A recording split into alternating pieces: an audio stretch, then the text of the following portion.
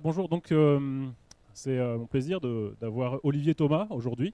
Donc, comme vous n'avez pas vu dans le programme, parce que apparemment le, titre et le sujet euh, et le nom si le nom est passé, mais pas le titre de la présentation. Donc, Olivier Thomas euh, a créé T-Explained après de nombreuses années à, faire des attaques sur des cartes à puce et sur des, chips sécurisés. Et donc, il a vraiment une très bonne expertise en tout ce qui est sécurité matérielle, mais vraiment en attaque sur le silicium. Euh, voilà. Et donc aujourd'hui, il va nous présenter euh, un peu ce qu'il fait dans Texplain, mais aussi plus globalement euh, un peu tout ce qui peut se faire comme attaque matérielle sur les, sur les chips. Et je pense que c'est très intéressant parce que c'est des, sujets qu'on on a entendu parler, mais souvent peu d'informations sont disponibles publiquement. Et donc c'est assez rare d'avoir une bonne, bonne vue comme ça complète. Voilà. Donc il est maintenant à Texplain qu'il a créé et c'est en fait un voisin parce que ben, on est juste à côté. Il est à Sophie Antipolis aussi. Voilà. Donc euh, à toi Olivier euh, pour 40, 40 minutes. Ok, bah merci pour l'introduction, merci pour l'invitation. Donc euh, aujourd'hui, comme Aurélien l'a dit, on va parler de, de circuits intégrés. Et donc, euh, histoire de ne pas faire quelque chose de, de- trop... enfin, je vais essayer de vous garder jusqu'au bout. Donc on va prendre l'évolution des, techniques d'attaque sur le circuit intégré. Donc bon, juste une petite intro pour dire que le- le silicium et les semi-conducteurs, c'est un secteur qui est toujours en forte expansion euh, que les problématiques de sécurité sont euh, partiellement adressées, mais qu'il y, a des, locomotives qui vont, encore augmenter ce, trend. Donc, par exemple, l'IoT qui, euh, prévoit, d'après Cisco, 50 milliards de, de secure elements en 2020. Donc, forcément, on a un gros besoin de sécurité. Euh, au niveau des attaques, bah forcément, les puces, on les a partout sur nous. On en a euh, dans notre voiture, euh, dans nos poches, que ce soit sur le téléphone, la carte bleue, le passeport, dans les maisons, un peu partout, le pacemaker, enfin, trois petits points, j'en passe.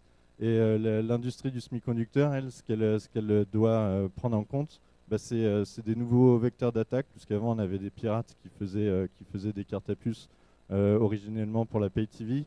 Mais maintenant, on a pas mal de contrefaçons, que ce soit euh, des cartouches d'encre contrefaites. euh, euh, Enfin, il y, a- pas mal de choses comme ça. Tout ce qui est, consommable. J'ai vu aussi une carte pour laver la voiture euh, qu'on peut recharger. Ça a l'air d'être quelque chose d'assez intéressant. Les clés de voiture, etc.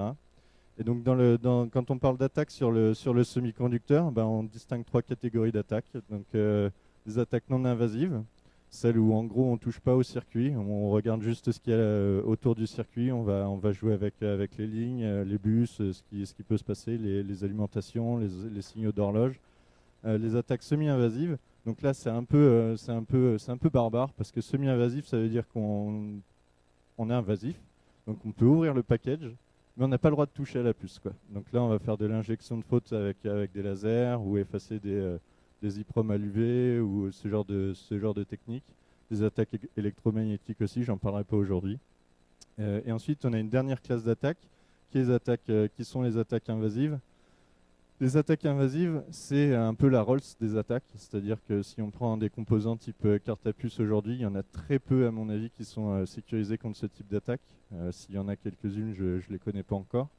Euh, et euh, là, par contre, on a le droit de tout faire. C'est-à-dire, on a le droit de regarder le circuit, de l'analyser, et puis aussi de le modifier. Donc, forcément, si on le modifie, euh, on, peut, avoir vite des privilèges sur, la puce.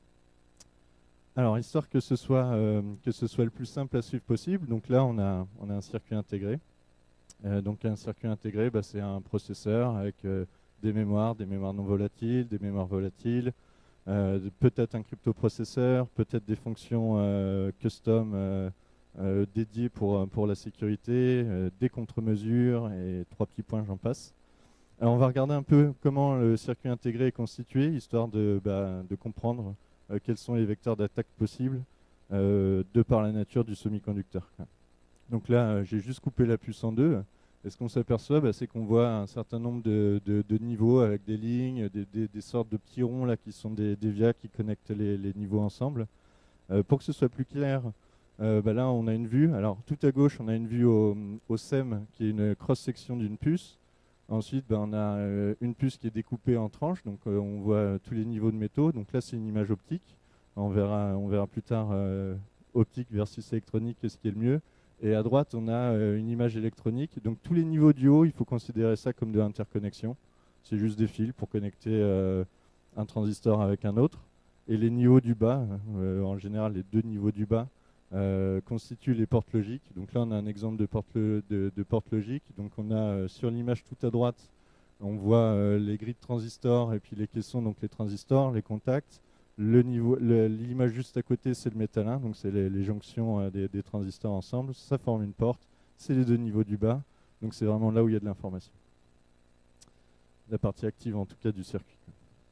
Donc le transistor, qu'est-ce que c'est? Ben, Un transistor c'est un switch. Hein. Quand on parle de transistor et de numérique, on parle juste de switch. Et là on voit déjà qu'il y a pas mal de choses qui sont, euh, qui sont intéressantes. Puisqu'on sait, on sait, on sait plusieurs choses. Un transistor, au moment où il va switcher, euh, il va consommer de, l'énergie. Donc ça, ça, ça, ouvre la porte à toutes les attaques non invasives du type, du type euh, side channel, que ce soit euh, du SPA ou du DPA. Donc c'est euh, mesurer la consommation du circuit pour essayer d'extraire de l'information. Mais pour qu'un transistor switch, il faut atteindre un certain seuil sur la grille du transistor. Ce seuil, il dépend de la tension d'alimentation. Donc forcément, si je baisse la tension d'alimentation, je change le seuil, j'ai des transistors qui vont plus switcher ou qui vont switcher alors qu'ils ne devraient pas, j'injecte une faute. Il y a un autre effet aussi qui peut être assez intéressant, c'est qu'un transistor, bah, euh, quand, il, quand il switch, il va émettre des photons. Euh, donc si vous avez une caméra qui est assez sensible, eh ben, vous pouvez collecter ces photons et donc faire de la photoémission pour essayer de déterminer quelles zones du circuit sont actives pendant une opération. Encore une fois, c'est une sorte de side channel. Et j'en passe, il y a, d'autres effets qui sont intéressants. Donc ça, c'est juste un transistor, donc c'est un switch, ça sert pas à grand-chose. Euh, mais si on les combine, on arrive à faire des portes, des portes des portes logiques. Donc ici, on a un inverseur. Et euh, pour, pour quelqu'un qui fait de la rétroconception sur du hardware, eh ben, il faut qu'il ait l'habitude de voir plusieurs représentations de la même chose, quoi, que ce soit la version euh, schéma avec un transistor, le symbole. Euh, moi, ce que je vois en général, c'est plutôt les images au SEM. Et tout à droite, on a la version GDS2, donc c'est le, les masques en fait. C'est ce qu'on envoie au fab pour, pour qu'ils produisent des transistors. Donc il y a vraiment deux types de, portes. Ça, c'est une porte combinatoire on met une entrée, la sortie change instantanément, enfin avec un petit délai. Euh, donc euh, la porte la plus simple, c'est un inverseur. Après, on peut avoir des portes un peu plus complexes avec quatre transistors, donc une porte NAND, une porte NOR. Donc c'est toujours le même principe, on combine des transistors pour faire des fonctions. Et toutes ces portes euh, combinatoires, eh ben, on peut les chaîner. On peut les chaîner et avoir des blocs plus ou moins gros. Quoi. Et, euh, dans, ces blocs plus ou moins gros, on peut isoler ben, un, chemin critique. C'est le chemin euh, qui va, qui va déterminer euh, le temps entre le moment où l'entrée change et la sortie devient stable. Ça, c'est intéressant aussi, on en reparlera. Un deuxième, un deuxième type de porte, ça va être les portes qui vont être pour la logique séquentielle, puisque c'est bien beau de pouvoir avoir des portes et effectuer des opérations, mais si on ne peut pas retenir le résultat pour, euh, pour euh, lancer une opération sur, euh, sur ce qui s'est passé précédemment, on va pas bien loin. Donc les autres portes qui sont importantes de connaître, bah, c'est le latch, les flip-flops. Les flip-flops, c'est vraiment la base de, tout ce qui est registre dans le circuit. Et c'est la base de, de l'électronique, puisqu'en fait, si on regarde un circuit, on pourrait très bien le modéliser comme une succession de, de registres. Et entre les registres, eh ben, on a de la logique combinatoire. Donc tout à l'heure, on parlait de chemin critique. Le chemin critique, c'est super important, puisque ça détermine un temps euh, de propagation de l'information. Et si on a ce temps de propagation, on peut déterminer la vitesse, euh, la vitesse euh, maximum de l'horloge du circuit. Bah, ça, c'est aussi intéressant, puisque ça nous met directement sur un autre type d'attaque, qui est bah, si je modifie l'horloge du circuit et que j'ai un front qui arrive trop tôt, mon résultat n'est pas stable dans ma logique combinatoire, donc j'injecte encore une fois une erreur, injection de faute, sur, sur du hardware. Donc ça, c'est une bonne transition pour, euh, pour parler des attaques non invasives. Donc je vais en parler très peu des attaques non invasives, puisqu'il euh, y a un aspect qui est, euh, qui est relativement aléatoire. c'est un peu comme aller à la pêche. Je sais que je vais injecter une faute, je ne sais pas où, je ne sais pas ce qu'elle va provoquer. ça marche, mais on peut essayer, mais c'est compliqué. quoi. Euh, les fabricants euh, connaissent ces attaques depuis fort longtemps, puisque ça c'est vraiment les attaques de garage. Quand on parle de non-invasif, en général, on n'a pas besoin d'avoir beaucoup de, matériel. Euh, et il y a des contre-mesures qui sont plus ou moins effectives. Donc ce n'est pas un vecteur d'attaque qui, marche à coup sûr et que ça demande beaucoup d'investissement en temps. Le deuxième, le deuxième type d'attaque non invasive, c'est tout ce qui est le side channel. Le side channel, c'est vraiment pas ma spécialité. Il y a beaucoup de maths là-dedans. Et euh, en général, pour faire, pour faire du, du side channel, ce qu'on veut, c'est par exemple extraire une clé ou quelque chose euh, de, ce type. Mais pour extraire une clé, bah, c'est bien de connaître l'algorithme. Comme ça, on regarde la consommation pour essayer de, déterminer combien de, bits ont flippé dans des registres, pour essayer de, trouver, euh, par analyse différentielle et corrélation, ces, toutes ces choses-là, euh, les valeurs des clés. Donc voilà, ça, c'est fait. Les attaques non invasives, on ne va pas en parler beaucoup plus on va passer aux attaques semi-invasives. Donc là, ça devient un peu plus rigolo parce qu'on va voir les puces. Donc pour voir les puces, eh ben, il faut d'abord les ouvrir. Donc ça veut dire que la barrière à l'entrée, là, c'est qu'il faut avoir un petit peu plus d'équipement ou alors euh, passer par un labo de, service qui peut, qui peut faire tout ça euh, euh moyenne en finance. Donc euh, bah là, on a des exemples d'ouverture partielle de, smart card ou de, chipset, enfin de SOC. Et, et, à droite, on a, on a une version où on repackage on repackage les, puces, puisque parfois on a envie de voir la face avant de la puce, mais parfois on a aussi envie de voir la face arrière. Puisque quand on parle d'attaque semi-invasive, le premier truc qui vient à l'esprit en général, c'est euh, l'injection de faute laser. Donc l'injection de faute laser, c'est basé sur un principe assez simple, c'est que si j'ai un laser qui est à, 1064 nanomètres en longueur d'onde, donc c'est de l'infrarouge, et hein, eh ben le silicium devient transparent quasiment euh, à cette longueur d'onde. Donc ça veut dire que je peux attaquer la puce par dessous par-dessous, j'ai que du silicium jusqu'au transistor. Donc le laser, lui, quand il va atteindre les, zones actives des transistors, eh ben, il va réussir à créer des paires électrons-trous, et du coup on peut réussir à faire switcher un transistor euh, sans, euh, enfin, de façon euh, purement externe. Donc là c'est vraiment pas mal, puisqu'on fait du glitch, mais contrairement à tout ce qui était non invasif, on sait ce qu'on fait, puisqu'on target l'attaque. Donc on peut targeter un registre ou quelque chose de ce style. Donc au début, donc ça, c'est assez vieux comme, euh, euh, euh, test. On a une mémoire et puis on tape dans, le, dans les buffers de sortie. Et en fait, c'est beaucoup d'essais et beaucoup de, puces qui meurent. parce que, bon, mais effectivement, il faut, il faut quand même contrôler l'attaque. Et donc, on reste encore dans un schéma où on pêche. Et la pêche, moi, j'aime pas trop ça. Donc, l'évolution qu'on peut faire après, juste derrière ça, c'est de se dire, au lieu de pêcher, on va écrire une sorte de logiciel avec des platines motorisées pour venir scanner la puce. Donc on peut scanner la puce, et puis on peut faire ça pendant, en envoyant une commande qu'on connaît, dont on connaît le résultat surtout. Quoi. Et donc on peut monitorer les, euh, les, réponses, et donc on peut faire une sorte de, test pass-fail, et puis monitorer les, différentes erreurs qu'on aura pu constater. Donc là, les images qu'on voit ici, c'est des images optiques, et c'est des images euh, après un process où on enlève toute l'interconnexion, donc on voit que les transistors sur la puce et les points sont volontairement gigantesques parce que la précision euh, de, placement du laser, elle n'est pas bonne. Dans cette configuration-là, on essaie de, faire, euh, faire coïncider euh, bah, ce qu'on a sur nos platines motorisées avec une image de la puce. On scanne, on n'a pas une super précision de, placement. en tout cas, on peut faire des attaques, pass-fail, etc.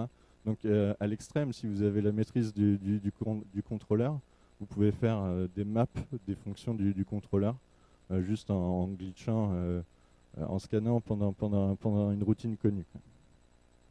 L'évolution après, euh, c'est de dépenser un peu plus d'argent et de pouvoir faire l'image avec le laser qui va être utilisé pour faire l'injection de faute. Donc là, au niveau précision, bah, on devient assez précis, puisqu'on on scanne la puce avec le laser, on fait l'image, et ensuite on dit au laser, bah, tu t'arrêtes à ce point-là, donc bon, bah, c'est le même laser, c'est le même système, donc il s'arrête pas trop loin. Euh, et puis on peut essayer de, targeter des images. Là, le point ici, là qu'on voit, cette, cette, sorte de nuage un peu jaune, bleu, euh, un peu arc-en-ciel, euh, c'est un point de photoémission, puisque bah, en général, quand vous avez une machine type LSM, Laser Scanning Microscope, vous avez aussi la possibilité de faire hein, de la photoémission.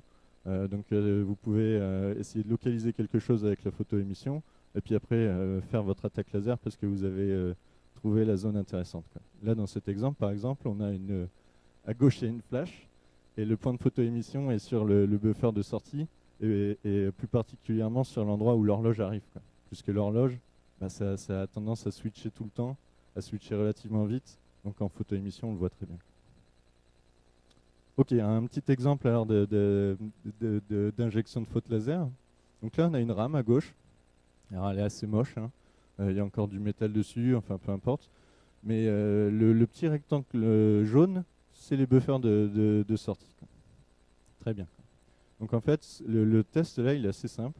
C'est on, fait, on, envoie juste un reset à la, à la, smart card, puisque là on a une smart card, et puis on monitor, bah, c'est l'ATR, l'Answer to Reset de la carte. Et ce qu'on a pu constater, c'est que hum, la longueur de, de, la réponse, on était capable de la faire varier. Donc ça veut dire en gros qu'on a dû changer la valeur qui était stockée dans le registre qui dictait la longueur de la réponse. Et c'est assez amusant parce qu'on a pu constater que bah, on était euh, capable de déterminer où était le, le, MSB et le LSB dans ce registre-là, parce que bah, forcément, euh, en fonction de la longueur de, la réponse, c'était euh, assez trivial. Ok, donc ça, c'est facile. On se dit, targeter une mémoire ou une sortie de mémoire pour des attaques comme ça, ça, paraît plutôt trivial. Mais après, sur l'autre image, on a des petites croix. Alors encore une fois, c'est pas très précis mais cette fois-ci, c'est dans le CPU, dans le corps. Et dans le corps, en général, c'est difficile de, savoir ce qu'on fait, mais on peut quand même scanner et puis essayer de faire des choses. Sur cette smart card en particulier, il y, a quelque chose qui était assez amusant. C'est que, alors je ne sais plus quels sont les points euh, qui correspondent à quoi, mais si je ne me trompe pas, le point rouge en haut euh, permet de faire basculer la carte dans le, mode. Euh, dans le mode master user, donc en gros vous avez tous les privilèges, vous pouvez dumper la carte, c'est sympa. Euh, cette information, vous pouvez aller couper la lime et la remettre, ça rester quand même dans, ce mode-là. Mais vous pouvez revenir au mode, au mode précédent en, avec les, en targetant les points verts. Donc en gros, vous pouvez choisir le mode d'exécution de votre, de votre carte juste en tapant avec le laser. Le point bleu, là, en plein milieu de la logique, il est aussi super intéressant. Si vous tapez sur ce point-là, vous sautez l'instruction courante. Donc en général, quand il y a des tests qu'on n'aime pas trop voir ou des fins de boucle qu'on ne veut pas terminer, c'est plutôt sympa de pouvoir juste taper dessus et puis bon bah voilà on récupère de l'info. Bon tout ça est plutôt pas mal, euh, mais euh, c'est assez compliqué de comprendre vraiment ce qui se passe quand on, quand un point au milieu de la logique et qu'on voit un effet comme ça. Qu'est-ce qui s'est vraiment passé? Bonne question. Bah, si quelqu'un d'ailleurs le sait, a reconnu la puce et sait ce qui se passe, j'aimerais bien savoir. Mais, ok. Bon, tout ça, ça m'a motivé à passer sur les attaques invasives. Parce que là, sur les attaques invasives, on va un peu plus comprendre ce qu'on fait. Quoi. Parce que là, euh, l'idée, c'est de vraiment étudier euh, bah, les masques, euh, les fonctions logiques, et puis de rentrer dedans pour, pour, pour modifier la puce, pour obtenir l'info qu'on souhaite extraire. Donc juste, j'ai remis ce slide, c'est juste pour avoir des conventions sur le nom, sur les noms. Donc on a les transistors qui sont tout en bas, c'est les seules parties actives du circuit. Tout ce qui est au-dessus, c'est de l'interconnexion. Et euh, donc on a des niveaux de métal. Donc euh, je compte du bas en haut, comme, les, comme les fabricants.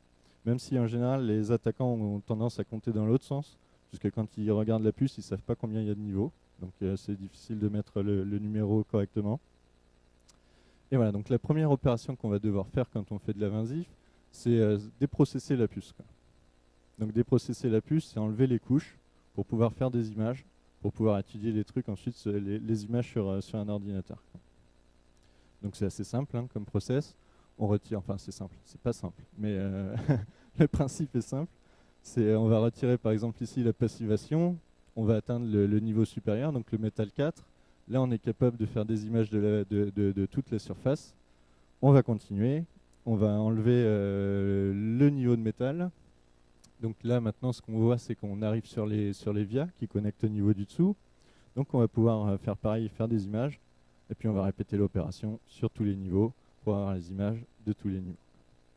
La petite spécificité, c'est sur le dernier niveau, sur le niveau où en fait on a les, un bout des transistors euh, on a les transistors, on n'a pas la fonction entière de, la logique puisqu'il faut le mettre à l'un. Mais ici, là, sur cette image, on voit plein de choses en même temps, c'est-à-dire euh, les caissons, donc les zones euh, qui sont dopées, les grilles de transistors et les contacts qui sont les vias qui remontent juste au niveau supérieur. Alors pour faire ça, le déprocessing, c'est plutôt, c'est plutôt pas évident en fait. Tout à l'heure, je disais c'est facile. Le principe est facile, mais c'est pas évident. Il y a plusieurs outils à maîtriser. Donc le plasma etcher, euh, donc euh, le plasma, donc on crée un, plasma dans une chambre avec la puce dedans. Donc le plasma c'est un gaz ionisé en gros et euh, qui vient arracher de la matière. En, jouant sur le gaz qu'on vient, qu'on vient transformer en plasma, on peut être sélectif entre l'oxyde, donc la partie isolante de la puce, ou le métal, la partie qui est conductrice. Le problème, c'est que si on n'utilise que le plasma, on arrive à ce genre d'aberration qui est assez sidérante. C'est sur l'image de gauche, on a une, une, carte à puce, mais le, niveau du haut, donc il y a un shield. Donc le shield, en gros, c'est des lignes qui traversent toute la puce. Si vous en coupez une, la puce, elle se suicide. Il y, a une, intrusion de sécurité, donc en général, ce qui se passe, c'est que les mémoires, euh, les mémoires vont être effacées ou quelque chose de ce style. Ensuite, on a utilisé que le plasma pour arriver deux ou trois niveaux en dessous. Et ce qu'on peut voir, c'est qu'on a encore les traces du shield. Donc euh, autant dire que c'est du bruit. Euh, je vois pas bien, l'image elle est, pas terrible. Donc ça marche pas trop. Par contre, si vous combinez le plasma avec les deux autres items, donc le CMP, euh, ça, veut dire Chemical Mechanical Polishing. Euh, en gros, d'ailleurs c'est plutôt utilisé juste en mode polishing qu'en version euh, chemical polishing. c'est vous venez juste abraser la surface de la puce pour atteindre le niveau du dessous. Les, produits chimiques, bon, il ben, n'y a, rien d'exceptionnel. c'est de la chimie avec, avec des produits plus ou moins toxiques et dangereux. Mais si vous mélangez tout ça, enfin si, si, vous faites ça dans le bon ordre et avec, euh, un peu de méthode, vous arrivez à avoir des images qui sont euh, meilleures, on va dire. Donc là, on a un métal 1. Le métal 1, pour moi, c'est le niveau le plus difficile à atteindre. Donc là, il est plutôt, plutôt propre, on va dire. On voit même encore les traces d'EVIA qui remontent au métal 2. Et puis ici, là, on a, des transistors, donc prises au microscope électronique. Donc là, ça permet aussi de parler de, des limitations de, la microscopie électronique. Euh, quand on parle de transistors qui font, euh, je sais pas moi, 40 nanos, 22 euh, nanos, j'ai entendu 7 nanos il n'y a pas longtemps. Avec un microscope électronique, on a tendance à quand même bien voir ces grilles de transistors qui sont ici en, gris. Enfin, tout est gris, mais c'est les, sortes de doigts qui passent au-dessus des zones actives. et, du coup, au niveau résolution, normalement, on n'est pas limité la, technologie peut encore baisser. Ça nous amène à l'imagerie, parce que c'est bien beau de découper la puce en tranches, et après il faut pouvoir l'imager. Donc la technique euh, de base, c'est de prendre un microscope optique et puis de, scanner la puce. Donc on arrive avec ce genre d'image. Et euh, moi, quand je vois ces, images-là, je me demande toujours si quelqu'un aurait pas, je sais pas, euh, craché sur la puce ou enfin fait quelque chose de, moche, quoi. Parce que j'ai du mal à suivre les lignes individuellement, il y a des paquets de lignes et c'est impossible de, suivre quoi que ce soit là-dedans. En plus, je vois le niveau du dessous. Euh, pourquoi je verrai le niveau du dessous? J'en ai pas besoin, j'ai des processés, donc euh, j'ai des images de tous les niveaux, donc ça m'intéresse pas. C'est du bruit. Euh, donc c'est vraiment des choses qui sont pas top. Et en plus de ça, on voit pas les vias, parce que forcément, si on a du métal au-dessus des vias, ben, on peut pas avoir les vias en dessous. donc ça, c'est un peu problématique. C'est des problèmes qui disparaissent quand on part, quand, quand, on fait des images avec un microscope électronique. L'oxyde, il est plus transparent. L'oxyde, c'est du verre, il faut voir ça comme du verre, donc c'est forcément transparent, mais au microscope électronique, justement, ça l'est plus. Donc là, on arrive à avoir des images avec des résolutions qui peuvent être euh, démentielles. Là, c'est vraiment euh, un, petit grossissement. À mon avis, on est à peu près à 8000. Euh, un SEM, ça peut grossir à 500 000. on a de la marche. Le seul problème qu'on a avec ça, c'est que les images, elles sont pas mal déformées. et il faut, faire avec. Alors ok, on sait bien, on a déprocessé la puce et tout, on a fait des images. Qu'est-ce qu'on peut faire avec ça Donc historiquement, euh, ce, que, les pirates avaient à faire, c'était pas très compliqué, euh, lire des ROM. Donc pour lire des ROM, là on a un exemple. Alors l'image est un peu, un peu, enfin la puce est un peu sale, on va dire, mais c'est pas trop grave. Donc là on a une ROM et on a une zone euh, carrée où on est, on est venu avec un fib enlever de la matière parce que l'idée, c'était de se dire bah, où sont les bits. Euh, c'est bien, beau de savoir que c'est une ROM, mais euh, si on sait pas où sont les bits, on va avoir du mal à les extraire. Donc on a creusé, et puis à un moment donné, on a vu ce pattern de points blancs. Bon, bah, des points blancs, c'est des via. Donc pour faire une ROM, en fait, une ROM, la cellule mémoire, c'est un seul transistor. Et donc vous avez un 0 ou un 1, ça équivaut à un transistor ou pas de transistor. Donc en fait, vous pouvez mettre des transistors partout, mais pas forcément les connecter. Donc vous avez un via ou pas de via. Donc là, on a les bits comme ça. Maintenant qu'on sait où ils sont, bah, il suffit de déprocesser jusqu'à ce niveau, faire les images, et puis on peut reconstituer la ROM. Alors là, j'ai mis quelques exemples de ROM. Donc effectivement, là, euh, on, avait un exemple comme, euh, comme sur l'image de droite. où on a via ou pas via. Mais il peut y avoir des trucs un peu plus, subtils, comme, euh, les demi-vias sur l'image juste à côté. Alors les demi-vias, il y a des vias partout, mais sauf qu'il y en a qui n'arrivent pas jusqu'au transistor. Alors c'est rigolo parce que sur cette image, on arrive très bien à savoir ceux qui vont jusqu'au transistor de ceux qui s'arrêtent au milieu. Parce qu'en fait, bah, si vous faites une imagerie euh, électronique, les électrons, quand ils arrivent sur le métal, il faut qu'ils s'échappent. Bah, si vous avez un demi-via, ils ne peuvent pas s'échapper. Donc ça crée justement un, contraste, on appelle ça du voltage contraste au SEM, et du coup ça vous permet quand même de retrouver les bits. Donc c'est une contre-mesure qui euh, pourrait être discutable. Après, il y a d'autres types de ROM. Euh, on va juste s'attarder sur celui qui est en bas à gauche, qui est une ROM implantée. Donc en fait, c'est vous avez vous avez des vias partout cette fois-ci, mais c'est juste au niveau des zones actives des transistors. On les dope ou on les dope pas. Si on les dope pas, il n'y a pas de transistor. Donc c'est encore une façon de créer une différence sur le transistor. Donc ça, vous pouvez l'imager optique, SEM, AFM, microscope à force atomique. Bon, je vous le conseille pas, c'est un peu long, mais bon, c'était assez amusant d'essayer. et ensuite, ben, quand vous avez réussi à imager votre homme, il faut reconstruire le, pattern des bits. Alors la méthode, la, vieille méthode, c'est de venir stitcher toutes vos images et puis de placer une sorte de grille dessus, qui n'est pas forcément rectangulaire à cause du tilt de votre échantillon au moment où vous faites les images, après, vous définissez euh, les espaces entre les bits, etc. Puis un critère pour définir si c'est un 1 ou un 0. Vous lancez un script, et puis euh, c'est magique, vous avez les bits. Qu'il faut voir après, bah, c'est comment, comment ces bits-là, ils sont interprétés. C'est-à-dire, bah, est-ce que les, euh, il faut regarder donc les, là en haut, on a une, une, ROM. Ce qui est important de voir, c'est les multiplexeurs en sortie, pour savoir bah, est-ce que c'est swappé, dans quel ordre ça arrive. Et puis aussi le décodeur d'adresse. Donc là, j'ai mis des petits points rouges sur le décodeur d'adresse. C'est le départ des word lines. Et quand on voit un pattern comme ça, on sait que l'adressage est plutôt linéaire. Donc il n'y a pas trop de questions à se poser. Sinon, il faut faire le reverse de ce bloc-là. C'est pas très compliqué non plus.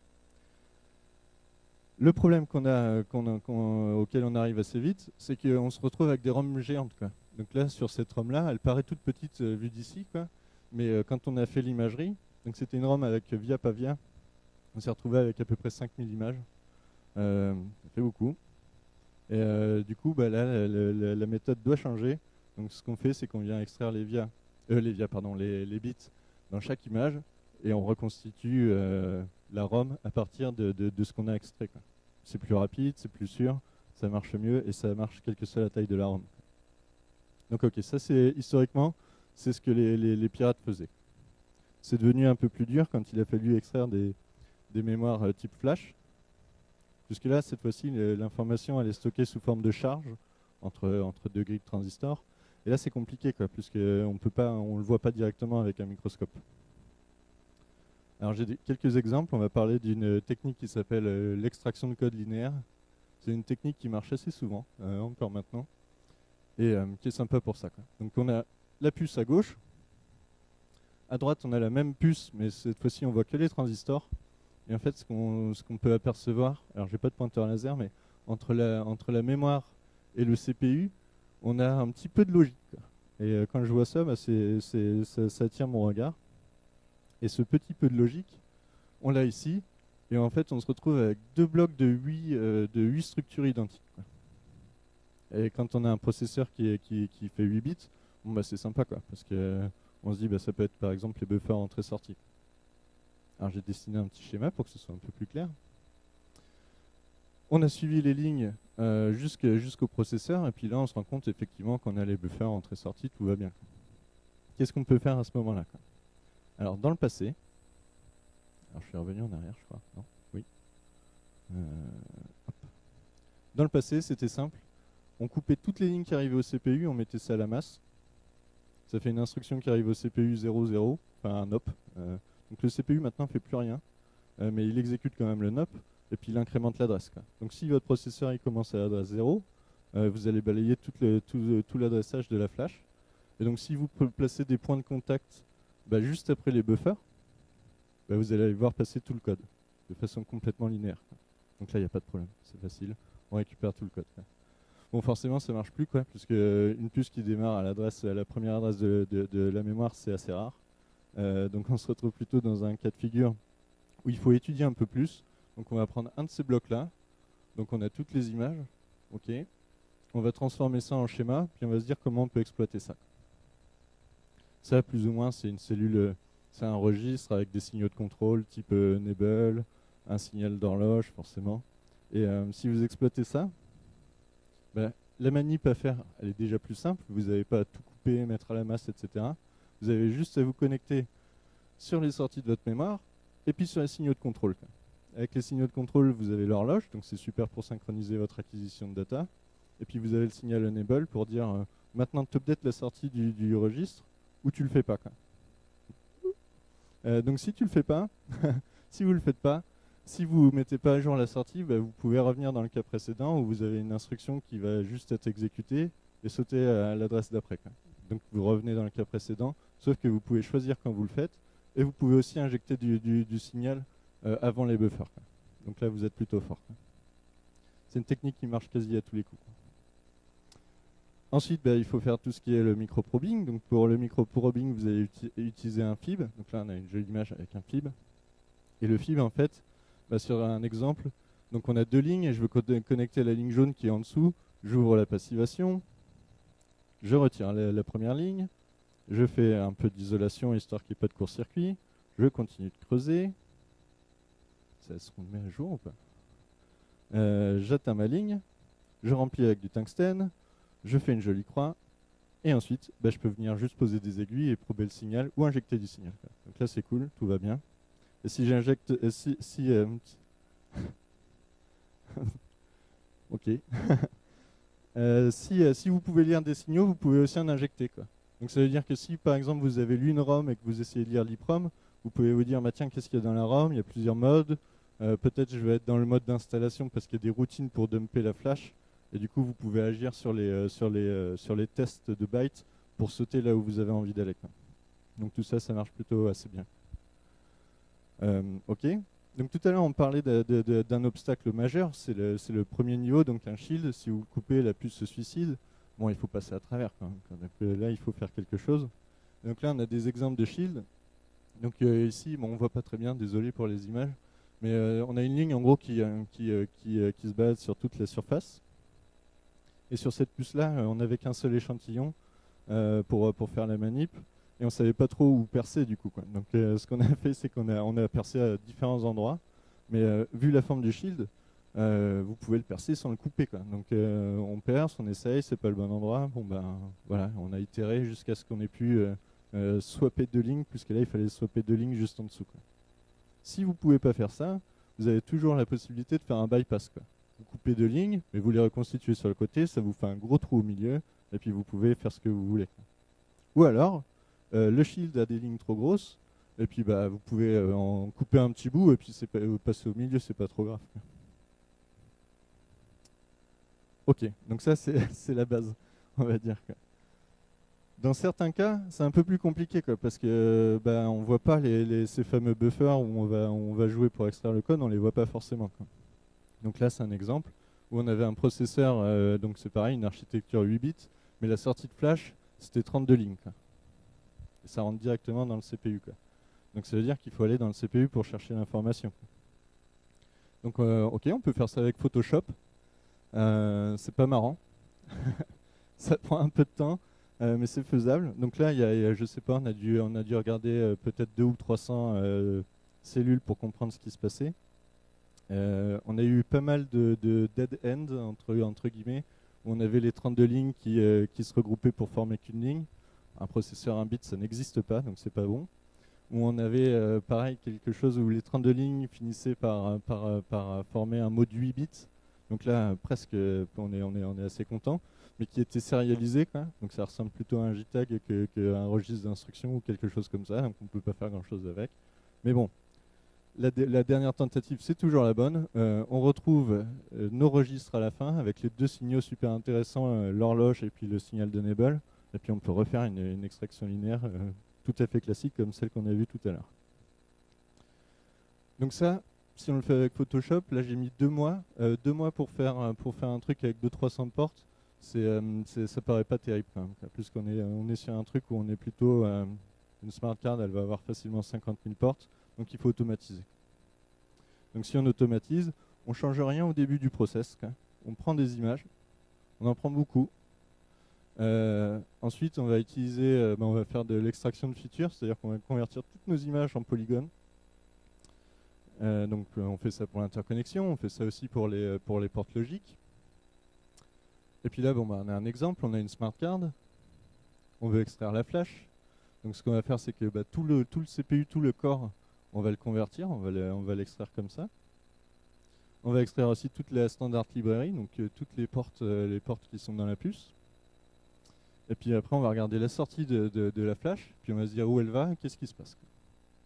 Donc euh, bah, ça c'est des images qu'on a avec le logiciel. Donc on utilise un logiciel qui s'appelle ARES pour Automated Reverse Engineering Software. C'est un logiciel qui est propriétaire malheureusement. Et euh, ensuite, donc, on fait l'étude. Donc, on a une version, euh, bah, c'est les portes qu'on a suivies. Ares nous fait aussi une sorte d'arbre pour savoir où on va. Et puis, euh, en à peu près une semaine, je crois. En deux jours, on a trouvé le registre d'instruction. Et le registre d'instruction, c'est là où on va extraire le code. Le code est en clair à cet endroit-là. Et en plus de ça, bah, il y a des signaux qui sont intéressants pour faire extraction linéaire. Et en fait, bon, bah, on l'a trouvé en deux jours, mais pour être sûr que ce soit bien le registre d'instruction, on a regardé ce qu'il y avait derrière. Quoi. Donc euh, normalement, ça doit être le décodeur d'instruction. Donc on l'a analysé et ça, ça nous a pris un peu plus de temps. Donc on a fait tout en à peu près une semaine, une semaine et demie, euh, pour, euh, pour avoir à la fin bah, la possibilité d'extraire complètement la, puce. Donc là, je suppose qu'on a qu'on a ça, oui. Donc on trouve le registre d'instruction et on étudie les, signaux de contrôle et là on se rend compte qu'on peut faire une extraction linéaire avec. là j'ai mis 4 aiguilles, mais c'est possible avec 3. Ok, euh, dans certains cas, c'est pas évident de naviguer dans la puce, mais si on vectorise toute la puce, ça veut dire qu'on a reconstitué les masques. Donc on peut reconstituer un fichier qui s'appelle le GDS2. Et le GDS2, en fait, c'est le, fichier de masque que les fabricants envoient au, fab. Bah, ce fichier, vous pouvez le charger dans le FIB. Donc au lieu de naviguer complètement à l'aveugle, maintenant vous naviguez avec, euh, avec, euh, avec les masques de la puce. Donc vous avez presque autant d'informations que le fabricant. Donc tout ça, c'est plutôt pratique pour faire des études qui sont super rapides. Bon, je reviendrai pas là-dessus, quoi, mais euh, juste pour dire que c'est beaucoup plus rapide. On avait mis deux mois pour 300 portes. Là, on a mis, on va dire, une semaine pour, pour, extraire, pour extraire une carte qui est supposée être mieux sécurisée. 22 000 portes extraites, parce qu'en en fait, là, on n'a pas extrait toutes les, toutes, les, toutes les portes qu'il y avait sur la puce. On a extrait que celles dont on avait besoin pour faire le reverse et, euh, euh, et, lire euh, et dumper la, flash. Quoi. Donc c'était assez intéressant. Du coup, je voudrais finir parce que je sais qu'il y a quelques personnes de l'ANSI ici. Je voudrais finir en parlant un peu des critères communs. parce que bon, il y, a plusieurs choses. Quand j'ai commencé, on me disait toujours ouais les attaques invasives. tout le monde connaît, mais honnêtement c'est cher et ça prend du temps. Alors l'argument c'est cher, oui, si vous devez acheter un FIP pour faire l'attaque, ça va vous coûter cher. Euh, si vous utilisez des labos de service euh, ou si vous avez utilisé le, FIP que vous trouvez peut-être dans votre université ou quelque chose comme ça, ça devient beaucoup moins cher. Même si vous achetez un FIB et que vous pouvez faire, je sais pas, une vingtaine d'attaques avec, bah, divisons le prix du FIB par les 20 attaques et bon, ça devient pas si cher que ça. Par contre, les revenus sont importants. Si vous faites de la contrefaçon, euh, vous vendez par exemple des cartouches d'encre contrefaites, bah, c'est pas mal, on gagne pas mal d'argent, je pense. Euh, deuxième argument, c'était de dire ça prend du temps. Ben mm, non. Si vous avez un logiciel qui, automatise la rétroconception, l'argument du temps ne tient plus, puisqu'on n'est plus sur des temps qui sont gigantesques. Euh, donc avec ARES, là, on, est, dans un cas d'étude de sécurité. Nous, ce qu'on propose aussi à nos clients, c'est de faire des études, par exemple, de violation de brevet, où là, on va complètement extraire euh, toute la logique et on va reconstituer le verilog de toute la logique pour être capable de savoir si quelqu'un a piqué un brevet à quelqu'un d'autre. Revenons à notre cas de sécurité. Alors je ne suis pas expert en critères communs, mais je sais qu'il y a cinq critères, le temps, l'expertise, euh, la, connaissance du produit, euh, le nombre d'échantillons dont on a besoin et l'équipement dont on a besoin. Et il y a des points, machin, donc c'est plutôt pas mal. Et donc j'ai repris l'exemple précédent, puis j'ai essayé de mettre des notes. Quoi. Et je suis arrivé à combien? Euh, à moins de 30 points. Ben ça c'est ballot quoi, parce que 30 points, ça veut dire qu'on n'est pas, on n'est pas au, niveau max. Et le niveau max 31, donc le, 31 c'est apparemment c'est un nombre magique. je, je pensais que c'était 42 moi le nombre magique, mais c'est 31 dans ce cas-là. Euh, et 31, euh, c'est la note qu'il faut obtenir si on veut mettre euh, une smart card, par exemple, dans, une carte bancaire. Donc si avec ce genre d'attaque, on, on, arrive à peu près à ça, pour moi, il y a peut-être un problème. En tout cas, je ne voudrais pas que toutes les cartes bancaires disparaissent d'un coup. Ce serait, peut-être problématique. Voilà. J'ai été peut-être pessimiste sur la notation. Quoi. Donc peut-être, en fait, je ne suis pas à 30, mais peut-être à 33, 34. Mais il y a un facteur que je n'ai pas pris en compte ici. Euh, c'est l'expérience. Si vous avez dumpé une carte une fois et que vous devez redumper une carte la fois d'après, euh, ça va vous prendre une semaine. Enfin, ça va être euh, hyper rapide. Et du coup, pour moi, il y a vraiment une question à se poser sur les attaques invasives, la rétroconception, et de savoir comment tout ça, bah, ça doit impacter la façon d'évaluer les produits pour, pour le futur, dans ce contexte de forte expansion de produits sécurisés. Et voilà. Euh, si vous avez des questions, euh, je serais ravi d'y répondre.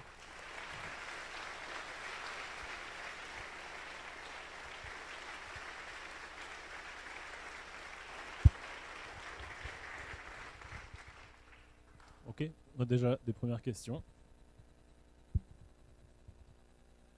Bonjour. Alors, il y a des questions sur Twitter sur euh, le prix pour monter un, labo pour le, prix minimum pour avoir un labo pour faire des attaques invasives Et à côté de ça, euh, quelle est la taille du pool de puces qu'il faut avoir et de temps avant de réussir une, euh, une abrasion et une imagerie sans altération? Alors, il y a deux questions. La première, c'est le, du, le prix du labo. Si demain, vous avez un grand garage et que vous voulez mettre tous les équipements dedans, ça va vous coûter, je ne sais pas trop, on va dire de 2 millions d'euros, quelque chose comme ça. Encore une fois, c'est si vous voulez avoir les équipements. Euh, dans la plupart des cas, moi par exemple, j'ai pas d'équipement. Euh, j'en ai aucun. Euh, je sous-traite tout ça. ça me coûte pas 2 millions d'euros par attaque. loin de là.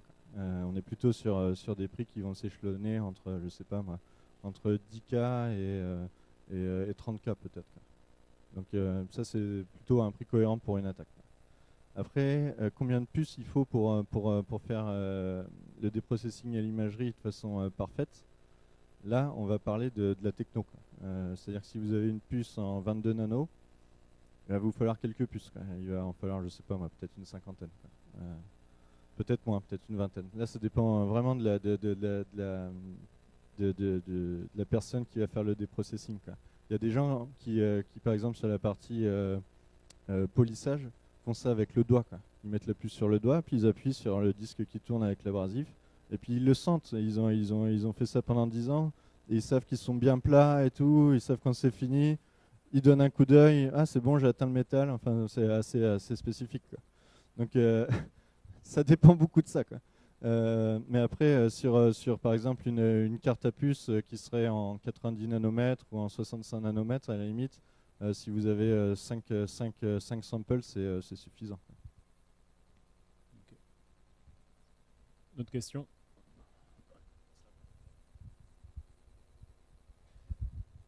Et avec le logiciel Magic, là, c'est possible de reconstruire le Verilog d'une puce arbitraire?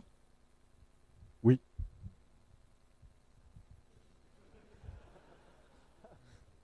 Verilog au niveau.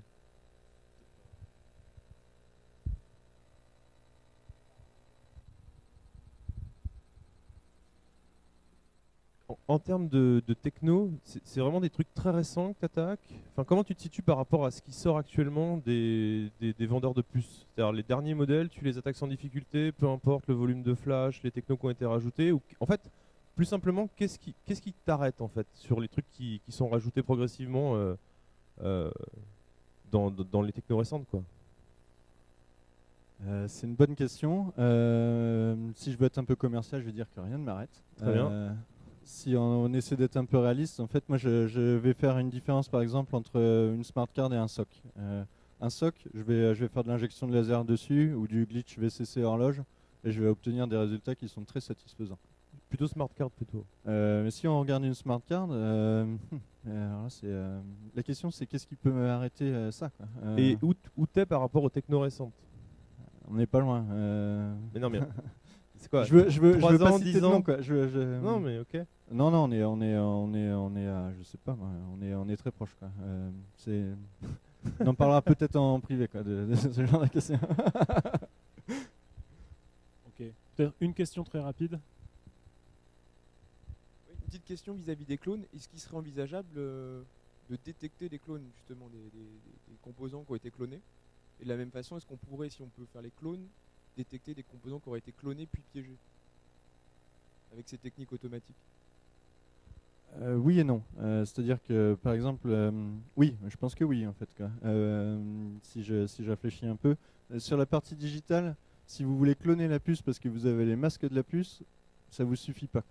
Vous allez avoir les masques de la puce et maintenant vous allez vous pointer chez qui? Chez TSMC. Quoi. Donc vous allez chez TSMC, par exemple, avec, avec les masques. Euh, rien ne vous garantit qu'ils ont la, même librairie standard. Quoi. Un transistor, les paramètres, c'est euh, euh, pas juste les paramètres géométriques, c'est aussi la concentration de dopants, enfin ce, genre de choses. Quoi. Donc là, euh, vous, vous maîtrisez pas du tout ça. Donc à mon avis, si vous copiez juste le masque pour faire un produit, ça ne marche pas. Donc euh, il faut que vous travaillez un peu. Quoi. Donc en général, ce qu'il faut faire plutôt, c'est dire bon, euh, ok, euh, j'ai les masques, je vais passer par le Verilog, et puis le Verilog, je vais essayer de, de- de le resynthétiser pour, pour faire une autre puce. Quoi. Du coup, c'est plus la même puce. Quoi. Euh, et, et on le voit aussi. Quoi. Euh, donc, euh, ouais, j'aurais tendance à dire oui. Ok. On, on va arrêter là, on va passer à la suite. Donc, euh, on peut le remercier. euh, Merci.